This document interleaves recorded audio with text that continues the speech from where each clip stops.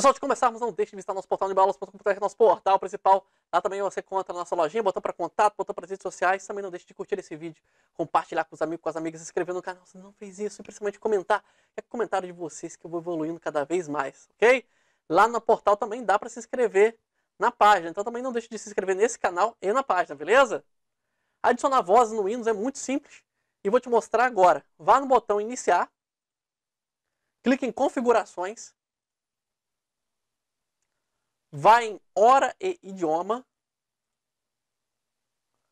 vai em fala,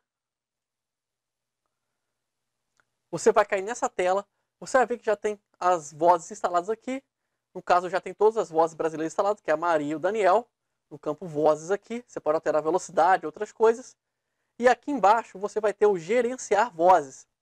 Para adicionar nova voz, caso você não tenha voz o seu idioma instalado ou queira instalar de outro idioma, clique em adicionar vozes, selecione o idioma que você quer, você pode digitar o nome de idioma, por exemplo, inglês.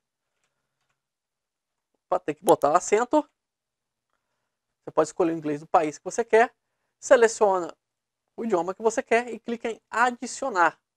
Após isso, ele vai aparecer na caixinha de vozes como está lá dentro, como já está a Maria e o Daniel e você pode utilizar em todos os aplicativos Office, Windows, tudo aquilo que utilizar voz no seu sistema operacional, vai utilizar essa voz que você baixou e adicionou, beleza? Muito simples, muito fácil, qualquer coisa deixa nos comentários aí que eu tento te ajudar. Meu nome é Elias Ribeiro, não vai embora ainda, que ao fim desse vídeo tem algumas recomendações.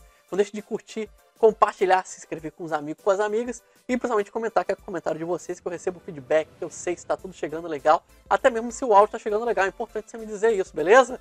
Então tá dado o recado, um grande abraço.